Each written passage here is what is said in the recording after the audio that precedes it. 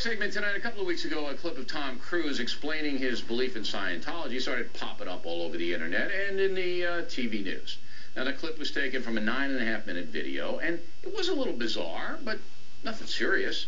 However, the Church of Scientology, representing Mr. Cruise, has sent letters to almost all the media operations nationally, threatening lawsuits if the video is aired again. With us now to analyze the merits of this action, Fox News anchor and attorney Megyn Kelly. Now, the reason I'm doing this is because this is a great example, and everybody should understand this, of intimidating the media. The Church of Scientology doesn't want this video out there for whatever reason. I mean, I saw the video, there's nothing wrong with it.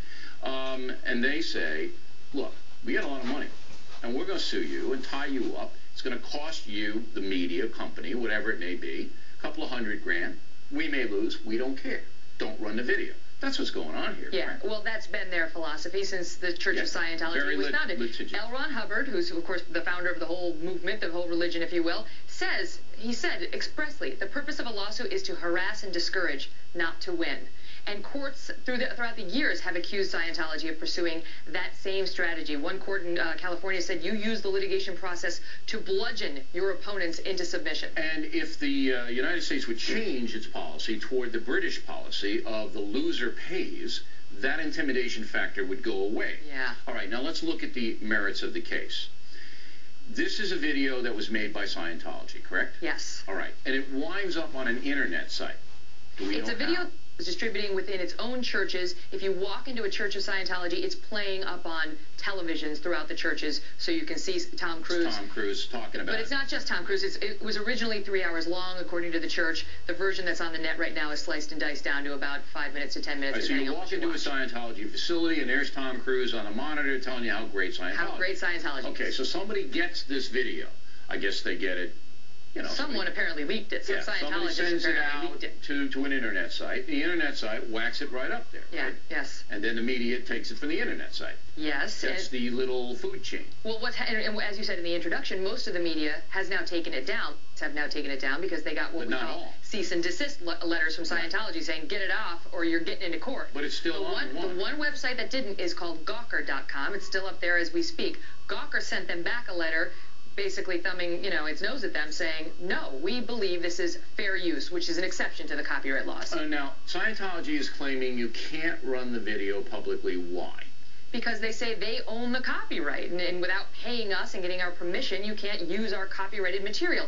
That's generally right, but there's an exception to the copyright laws called fair use, and that's the doctrine that allows places like Fox, places like the internet, to take certain portions of newsworthy events and to run them, and but that's what Gawker has usually done. has a time limit on it. Uh, Well, yes, but D- Gawker put this up on the heels of this whole Andrew Morton biography. no, no. No. What I'm saying is, has a time limit as to how much you can use. This is a nine. So there's nothing written in clip. stone. It's just a feel. Yes, Right. generally the more. I mean, you can't take an event from 1902 and say it's still newsy, and so we get to run. Okay, so know, the- the so video. just so, and I'm, I could never go to law school. I'm not nearly as smart as you are, and you know that. Everyone knows that. All right, just a pretty face, ladies and gentlemen. now, they say Scientology. We financed this. We made it. It's our property, and we use it in our church business Yeah. or whatever it is. Yeah. You. Fox News, Gawker, whatever, have no right to take our video without compensating us for it. Right. That's essentially the argument. Right. Yeah. And that's the, the whole purpose behind copyright is to protect somebody who does that. But the problem is there's a whole long legal test that you go through to see whether this exception, the fair use exception, applies. And in the Gawker case, Gawker's got a pretty good argument that it does apply. You got to look at whether, um, for among other things, uh, how much of the original tape has been republished. Well, here we've got nine minutes of a three-hour video.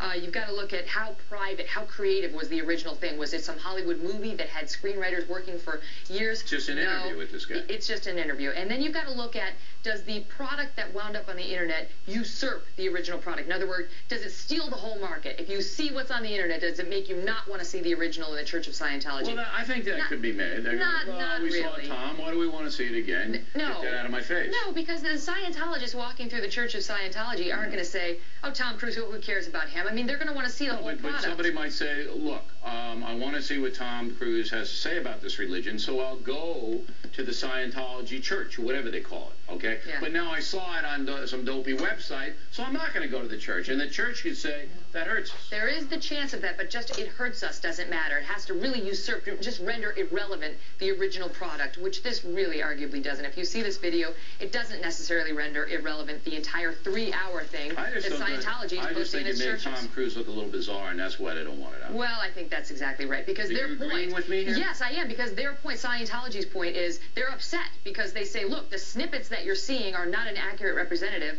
of what is in the three-hour event. If you see this, you'll see Tom Cruise, you'll see two other people who got awards like Tom Cruise did back in 2004, and uh, just to take these snippets that were meant for Scientologists to hear and understand Right. isn't an accurate representation. Okay, Megyn Kelly, everybody. We appreciate you coming in, Megyn. Our Thank you. And we'd like you to vote in our BillO'Reilly.com poll. Do you care at all about Tom Cruise? I think I know how this is going to go.